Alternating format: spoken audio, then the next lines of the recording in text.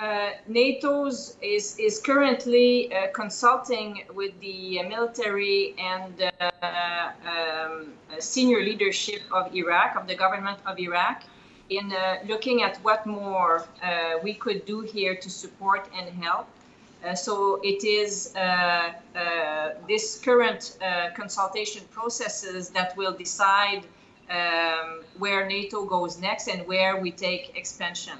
تقوم بعثة الناتو في العراق الآن باستشارات ونقاشات مع المتخصصين العسكريين العراقيين نسألهم عن ما هي المواضيع التي يحتاجونها وبناء على هذه النقاشات والاستشارات سنقرر ماذا يحدث في المستقبل.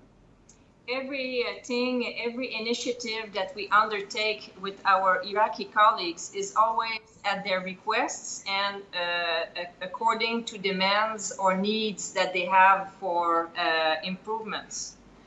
أي مواضيع نناقشها مع زملائنا العراقيين دائما تكون بناء على طلبهم اي شيء يحتاجونه في تطوير في تطوير قواتهم دائما ما يكون محل نقاش بيننا ويكون دائما في يعني هنالك ارض مشتركه لهذا الموضوع.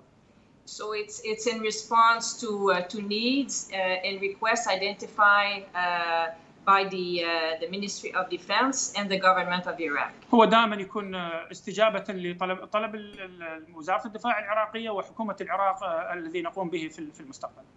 And uh, again, the 30 allies, a member of NATO, are are determined uh, in in uh, in improving and assisting uh, the Iraqi armed forces in, in their road to uh, to modernization and uh, and improvements. واريد ان أقول لك ان ال 30 دوله التي تشكل حلف الناتو قد قرروا مسبقا لتطوير ومساعده القوات العراقيه والحكومة العراقيه.